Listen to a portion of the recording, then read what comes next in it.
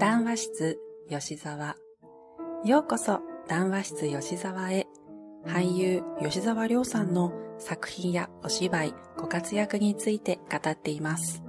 お相手はあんこが苦手な私桜餅。ピアノは友達のういろうさんときびだんごさんです。それでは本日も勝手な推し語りにどうぞお付き合いください。まずはこちら。今日は何の日？吉沢亮さんの日。パチパチパチ。毎日が吉沢亮さん記念日です。10月12日、過去のこの日にどんなご活躍があったかをピックアップしていきます。2012年、前の週に放送されましたナウメン三角形のアミモバ限定コンテンツ配信開始。2013年映画男子高校生の日常公開。で、舞台挨拶があり、アミューズさんからのレポートがあり、その公開を記念しまして、吉沢さんのニュー待ち受け配信開始など、2016年 D ライフ男子旅の再放送とそれに合わせたツイキャスがありました。2018年金曜ロードショーで映画サイキクス王の災難放送。この時は、あの、ちょうど柏木王子とギバーが終わった後なので、まさかこの人がという楽しいインパクトって感じですよね。ご本人のリミッターが完全に麻痺していました。楽しくてというコメントや、福田監督からのの、演出するときまずやってみせるのが福田監督流なんですけど、吉沢亮の海藤俊については手の届かないところに行ってしまったというコメントなどが、金曜ロードショー公式のアンクさんからもたらされていて、むちゃくちゃ楽しい感じでした。2021年、キリン生茶ライフプラス免疫アシストプラズマ乳酸菌で免疫ケア編の CM が放送開始。えー、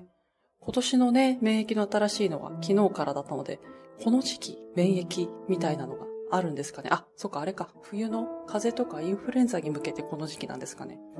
などなど、いろいろありました。ご活躍でした。パチパチパチパチ。続いて、本日の吉沢さん。2022年10月12日、今日出会った吉沢さんをご報告します。えー、映画、キングダム2、プサン国際映画祭のニュースがありまして、アンドモアもう一つ何かお知らせがあるというところまでお聞きしております。何でしょう。あとは、引き続き PICU 小児集中治療室からオフショットとか、あとあの、吉沢さん公式さんより PICU の現場にもロッテさんからの差し入れのお知らせとか、いろいろありました。で、あとは小沢健二さんの SNS で、あの、アルペジオの吉沢亮さんのラップにある静かな苛立ちなものこれはラップではなく表現なのかな？あれは取れてよかったというコメントがありまして、以前もですね、あの、ファンとの生交流みたいな時があって、私割と小沢健二ファンでもあるので、それも聞いてたんですけど、吉沢さんのラップについてすごくリズム感がいいっていうのを褒めてらして、また何かあるといいなと思ってしています。えー、あとは昨夜のニュースゼロで、免疫、あ、どう忘れちゃった、なんだっけ？あ、吉沢亮の外出編ですよ。大事なやつ。新しい CM ですね。あと今朝の目覚ましでも同じく、生茶ライフプラス免疫アーティストの吉沢亮の外出編の CM。そして、ラストシンデレラの再放送をしていますが、こちらは PICU の2話の予告が2種類の病院での向いてないんじゃないって言われるやつと、お家でのお食事のシーンなんですけど、これもなんかタイトルがついてて、落ち込んだ日の夕食編みたいなのが流れていました。なるほど。今日も吉沢さんにたくさん出会えて幸せでした。パチパチパチパチパチ。さて、ここからは作品とお芝居について、PICU 小児集中治療室1話の、あの、パッと見て心に残ったところっていうのをパッと1回で言い終わろうと思ったんですが、話が長くなってしまい、終わらず、昨日の続きです。昨日タイトルまでしか言ってないあの素晴らしいタイトル。えー、知事と上野先生の話している場面。こちらも導入であり、後でまた聞いてくる場面ではいますが、この小児科医として診察中の吉沢さんの泣きわめく子供をなんとかしようみたいな、なんだあれなんだあれとかって言って、ちょっと見せてって注射してるのがもう本当に、あの、吉沢さんもおっしゃってましたけど、本当に嫌がられてるんですよね。もうリアル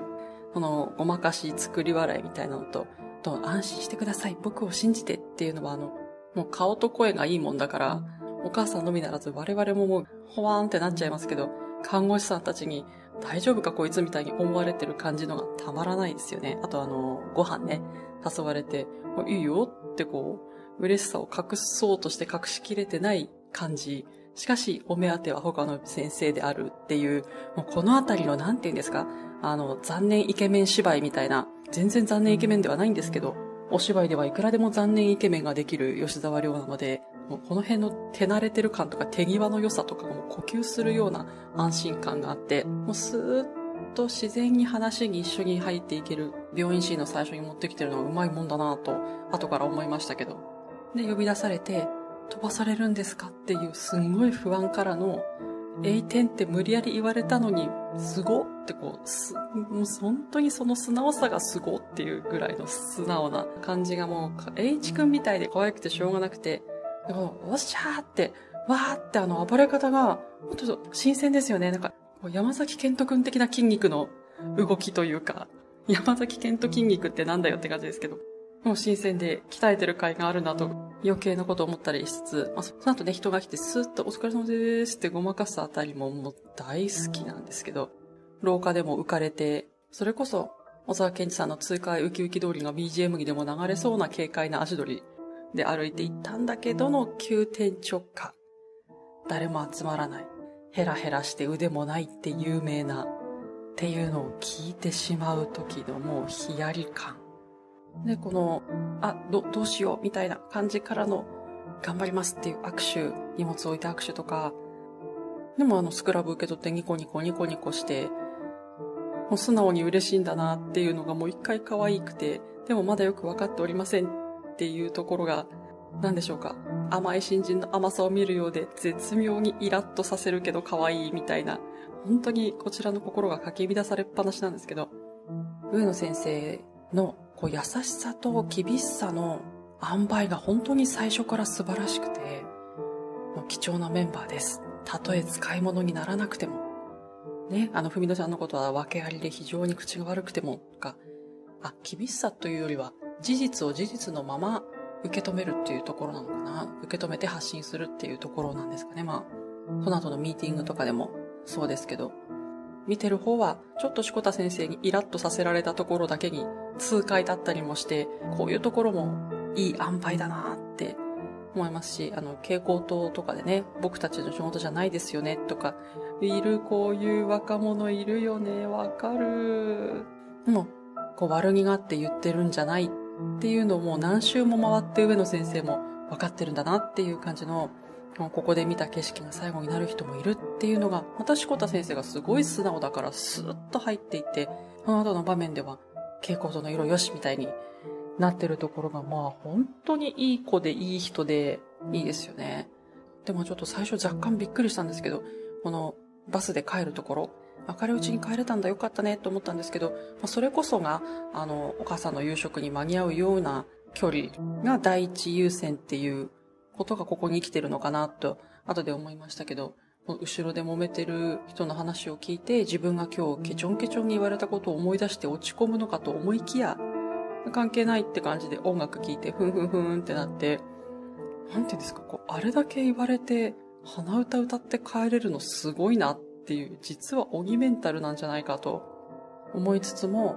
まあ、なんていうんですか、あの、やっぱり、この医者をやるっていうことに、そこまでの気負いや覚悟や自覚がまだ薄いからこそのダメージを負っても奥まで刺さらないというか、ああ、なんか言われちゃったなーっていうか、へこんじゃ、へこんじゃうなーぐらいで、もしかして好きな音楽聴いて、お家帰ってご飯食べようってなる感じなのかなと思って、